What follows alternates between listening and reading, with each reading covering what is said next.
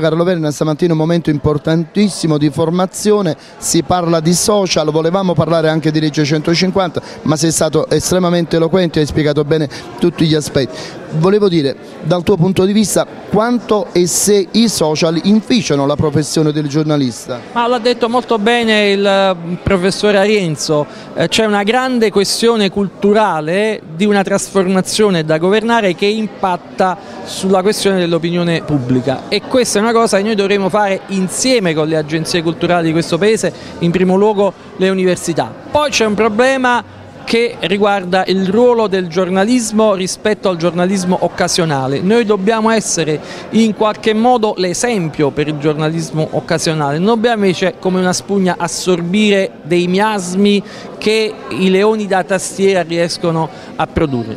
È un contesto nel quale lavorando assieme tutti i soggetti che rappresentano la categoria potremo cercare di produrre qualche ricetta, non tutte le ricette perché occorrerebbe anche eh, una eh, visione che a livello mondiale ancora non c'è in questa fase di trasformazione, però dobbiamo sforzarci di fare il possibile. Con un recupero di una dimensione che è unitaria. Parlare di giornalista pubblico come si sta facendo non significa parlare di una cosa che non ha a che fare con il resto del sistema, significa che dobbiamo costruire un sistema che ha una sua virtuosità, una sua unità e che alla fine serva soprattutto al cittadino. Me piacerebbe che l'ordine dei giornalisti si chiamasse ordine del giornalismo proprio per ricomprendere il diritto ad essere informato, il diritto di sapere della gente. Il problema è proprio, l'hai detto, è governare questo, questo